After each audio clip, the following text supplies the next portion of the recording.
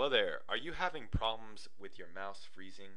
Is it happening all the time when you move your mouse around and all of a sudden it will just freeze?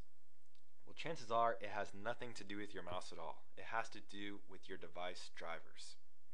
Now don't worry, this is not a hard fix. Only takes about 5 minutes. If you want to fix your mouse from freezing, then you need to listen to this solution. Okay, so here's what you do. Simply open up a browser and go to this website, www.driverupdatersexposed.com. You're going to come to this website and you click the button Free Scan, scan your PC now.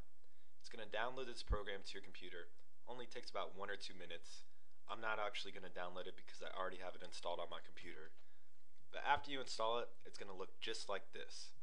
You load the program and you click Start Scan. It takes about one to two minutes but it's going to scan each and every device on your computer. It's going to scan your video card, sound card, mouse, keyboard, all your hardware drivers, it's going to scan. It knows the manufacturer of your computer, the model you have, the operating system. Doesn't matter if you have Windows Vista, Windows XP, Windows 7. It doesn't matter. It's going to scan every device. It's going to tell you the current version of the driver that you have right now and when a new driver was released for that particular piece of hardware. So as you can see, I have many outdated drivers. Let's look at the overview. I actually have 23 drivers that are out of date and 101 up-to-date drivers. So I obviously do need to update these drivers. I mean, these out-of-date drivers can be causing security loopholes, my computer runs slow, error messages, lots of different problems these out-of-date drivers can be causing my computer. And without updating them, you know, nothing's ever going to be fixed. So it doesn't matter if you need the new driver to fix a current hardware problem or if you just want to make your computer run faster and without bugs, it really does help. As you can see, it scans each and every device. It tells you what it found. I mean, look at this. This particular piece of hardware, the current version of the driver I have was from 2006. They have a version of the driver from 2009. Can you imagine the updates that have been made since 2006 and 2009? I mean, they could have found a lot of things that will tweak my hardware, make it run faster. There could have been a security loophole. You know, it can be causing a lot of problems with my computer, and I would have never known because, you know, these hardware manufacturers, they don't make it easy to find their drivers. If you don't have a program like this, there's really no way you're ever going to be able to update, you know, 23 different drivers.